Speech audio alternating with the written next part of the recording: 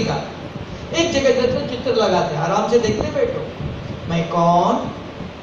ठहरना बुद्धि जवाब देती मेरा रूप ठहरना बुद्धि से जवाब आने दो। मेरे गुण धीरे एक एक एक, गुण बटा पढ़ाते जाओ। मेरे कर्म हाँ मैं शरीर से इधर उधर देखता हूँ अभी नहीं। मुख से बोलना नहीं। हाथ पाँव हिलाना नहीं। शरीर का कोई काम नहीं। ये शरीर जड़ है। मैं चैतन्य। पांचवा मैं कहाँ से आया? परम धाम से।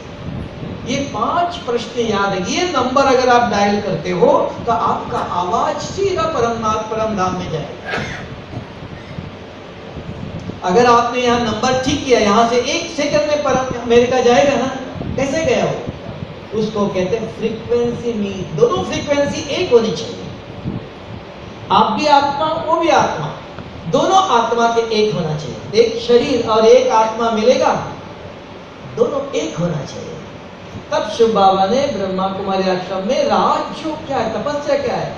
आत्मा समझ शिव बाबा से बात करो। वो कैसे करो? विधि चाहिए। बोलने में एक शब्द लेकिन करने की विधि, देखो, एक सिर दर्द की गोली इतनी छोटी सी है, बनाने के लिए कितना समय लगा, खाने के लिए एक सेकंड में हो गया। तो यहाँ भी बना विधि चाहिए। तो वो विधि याद रखना। जब भी भी योग में बैठते हो, तपस्या, सवेरे शाम को। ये क्यों कर रहे हो? विकर विनाश करने के लिए। याद रखना। अगर आपके अंदर पाप मिटाना चाहते हो, तपस्या करें